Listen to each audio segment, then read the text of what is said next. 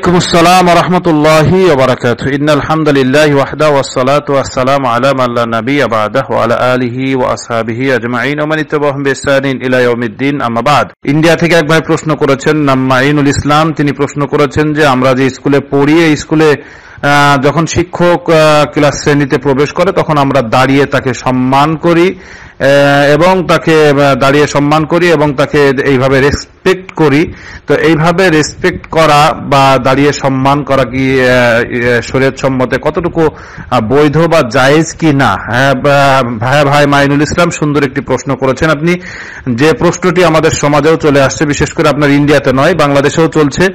বাংলাদেশেও অনেক সময় শিক্ষক যদি ক্লাসে ঢোকে তাহলে ছাত্রদেরকে দাঁড়িয়ে দাঁড়িয়ে তাকে সম্মান জানাতে হয় রেসপেক্ট জানাতে হয়, শুধু তাই নাই শিক্ষকরা সালাম দেবে আর ছাত্ররা ছাত্ররা সালাম দেবে আর শিক্ষকরা দাঁড়িয়ে দাঁড়িয়ে সেটা দেখবে। আশ্চর্য ব্যাপার। শিক্ষক আসছে আর ছাত্ররা বসে আছে, অনেক ছাত্র। আর সেখানে শিক্ষকরা কি করবে? শিক্ষকরা সেখানে পর্যন্ত বসতে পারবে না।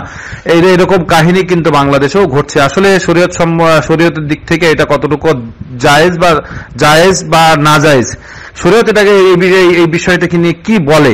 হ্যাঁ ভাই প্রশ্নটা হচ্ছে এটা শরীয়ত, শরীয়তে কোনো অবস্থায় জায়েজ নয়। শরীয়তে এইভাবে দাঁড়িয়ে রেসপেক্ট করা বা সম্মান করা জায়েজ নয়, বরং এই যে শিক্ষক এটা কামনা করে, যে ব্যক্তি কামনা করা যে তার জন্য দাঁড়িয়ে মানুষ স্থির হয়ে সম্মান করুক বা তার জন্য অনেকক্ষণ দাঁড়িয়ে থাকুক। এই ব্যাপারে নবী করিম সাল্লা সাল্লামের একটি হাদিস এসেছে, যে হাদিসটি আবু দাউদ এবং তিরমিজিতে এসেছে। তিরমিজি হাদিস নম্বর দুই দুই হাজার সাতশত পঞ্চান্ন নম্বর হাদিস রসুল সাল্লাহ সাল্লাম বলেছেন, যে ব্যক্তি ইহাতে আনন্দ পায় যে লোক, লোকজন তাহার জন্য দাঁড়ানো অবস্থায় স্থির হয়ে থাকুক।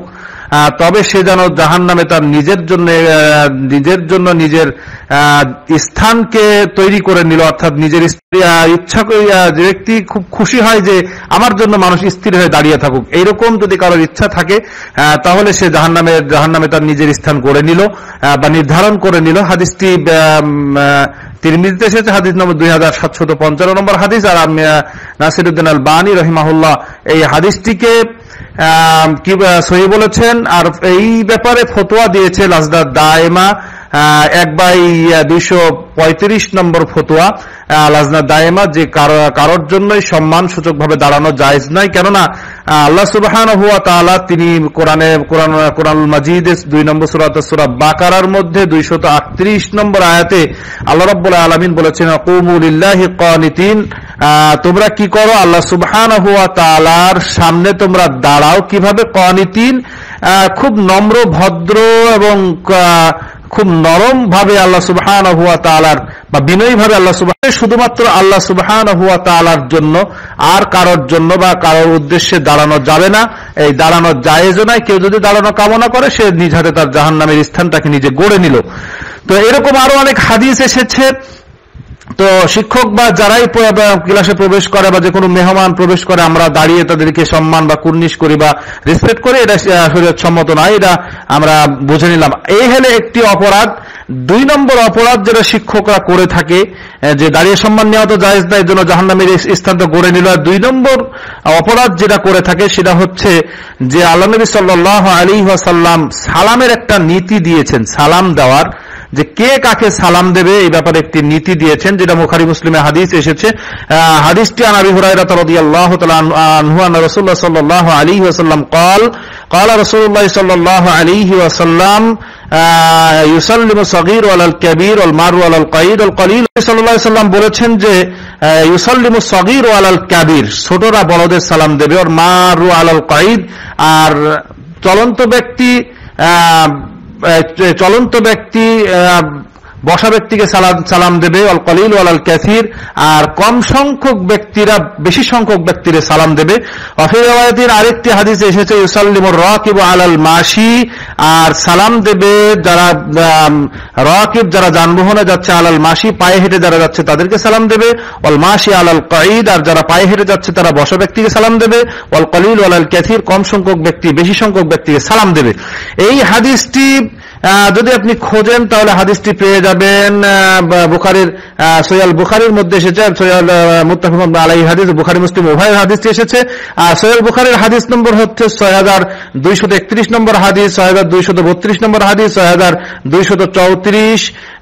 তারপরে তার মুসলিম এসেছে দুই হাজার একশত ষাট নম্বর হাদিস, তিরমিজিতে এসেছে দুই হাজার সাতশত তিন নম্বর হাদিস আবুদাবুদ হাদিস এসেছে আবুদাবুদের হাদিস নম্বর পাঁচ হাজার একশত আটানব্বই নম্বর হাদিস, মুসনাদে আহমদে এসেছে মুসনাদে আহমদের হাদিস নম্বর সাতাশ হাজার তিনশত উনআশি নম্বর হাদিস, আর তারপর এসেছে আটশত আট হাজার একশত তেরো নম্বর হাদিস, আর দশ হাজার দুই শত সাতচল্লিশ নম্বর হাদিস। এতগুলো হাদিসে এসেছে যে চলন্ত ব্যক্তি চলন্ত ব্যক্তি, কম সংখ্যক ব্যক্তি, বেশি তারপরে সালাম দেবে, বেশি বেশি সংখ্যক ব্যক্তিকে চলন্ত ব্যক্তি বা বসা ব্যক্তিকে সালাম দেবে, আর ছোটরা বড়দের সালাম দেবে। সেই দিক থেকে ছাত্ররা অনেক দিক থেকে সালাম পাওয়ার যোগ্য আর আরেকটি বিষয় আছে। নবী করিম সাল্লাহ আলী সাল্লাম শিক্ষা দেওয়ার ক্ষেত্রে ছোটদেরকে তিনি, যখনই ছোটদেরকে পার করে যেতেন, তখন তিনি ছোটদেরকেই সালাম দিতেন। এবার একটি হাদিস এসেছে আনাসিবনে মালিক রদি আল্লাহ তালু বর্ণনা করেছেন, আন্নাহু মাররা আলা তিনি কতিপয় শিশুর নিকট দিয়ে অতিক্রম করার সময় তাদেরকে সালাম দিলেন এবং বললেন, রসুল সাল্লাম এরূপ করতেন। অর্থাৎ আনাস রাদিয়াল্লাহু কতিপয় শিশুদের অতিক্রম করার সময় সালাম দিয়েছেন, নবী করিম সাল্লাম অতিক্রম করে সালাম দিতেন, তিনিও সালাম দিতেন। তো নবী করিম সাল্লাম এভাবেই করেছেন, এই বুখারি মুসলিম এসেছে।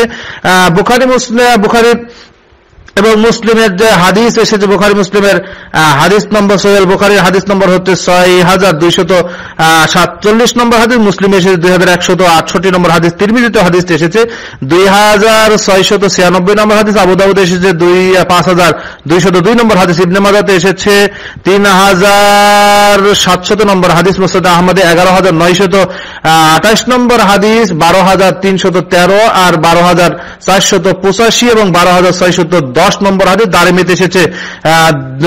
দুই হাজার ছত্রিশ নম্বরের কাজ দিয়ে গেলেও এভাবে তিনি সালাম প্রদান করতেন। আর আম্মা আরও আরও হাদিস এসেছে নবী করিম সাল্লাহ আলী সাল্লাম মহিলাদের কাজ দিয়ে গেলেও তিনি সালাম সালাম দিতেন, এরকম হাদিস এসেছে। তো আমাদের আমাদের আজ শিক্ষকদের যে পরিণতি, যে অবস্থা হয়েছে যে শুধু তারাই সালাম নেবে, ছাত্রদেরকে সালাম দেওয়ার কোনো প্রয়োজন বোধ করে না। আবারও অনেক এরকম হাদিস এসেছে, নবী করিম সাল্লাহ আলী আসাল্লাম বাড়িতে ঢুকলেও তিনি সালাম প্রদান করতে বলেছেন, বাড়ির নিজ বাড়িতে ঢুকলেও, নিজের বাড়িতে ঢুকলেও সালাম প্রদান করতে বলেছেন। নবী করিম সাল্লাহ আলী আসাল্লাম এ ব্যাপারে হাদিস দিয়েছেন যে, ইয়া বুনাইয়া ইদা দাখাল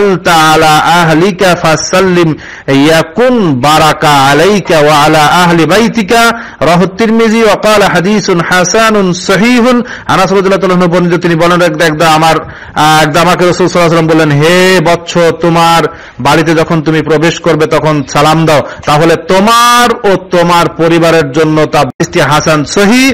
আর তিরমিজির যে হাদিসটি, এই হাদিসটি তিরমিজির হাদিস নম্বর দুই দুই হাজার ছয়শত আটানব্বই নম্বর হাদিস। তো নবী করিম সাল্লাম নিজের বাড়িতে ঢুকলে অপরের বাড়িতে ঢুকলেও সালাম দিতে বলেছেন।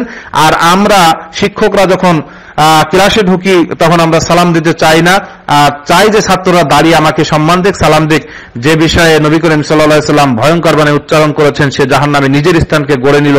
আসুন, আমরা সবাই এই হাদিস দিয়ে নবী করিম সাল্লাম সে আদর্শ দিয়ে আমরা ছাত্রদেরকে, ছেলেদেরকে, পরিবারের পরিজনকে এবং ছোটদেরকে আমরা যাতে শিক্ষা দিতে পারি। নিজের সালাম দেওয়ার মাধ্যমে আমরা সালামকে প্রসার ঘটাবো। কেননা নবী করিম সাল্লাহ আলী সাল্লাম বলেছেন যে তকরাউসালাম আলামান আরিফতাম আল্লাম তারিফ, তোমরা সালামের প্রসার ঘটাও। যাকে চেনো তাকেও সালাম দাও, আর যাকে চেনো না তাকেও সালাম দাও। আমরা এভাবে সালামের প্রসার ঘটবো। আর শিক্ষকদেরকে আবার অনুরোধ জানাচ্ছি, যারা শিক্ষক আছেন, তারা ছাত্ররা, দ্বারা ছাত্রদেরকে আমরা সালাম শিক্ষা দেব। আর যাতে আমরা এই সালাম আমরা প্রদান করতে পারি। কেননা ইসলামের উত্তম কাজ হচ্ছে সালামের প্রসার ঘটানো। যে ব্যাপারে হাদিস মুত্তাফাকুন আলহী বুখারি, মুসলিমের হাদিস। হাদিস নম্বর বুখারিতে যদি আমি খোঁজেন, তাহলে বারো আঠাশ ছয় হাজার দুইশত ছত্রিশ নম্বর হাদিস আপনি পেয়ে যাবেন। আশা করি আপনার উত্তর পেয়েছেন। আসসালামু আলাইকুম রহমতুল্লাহ বারকাত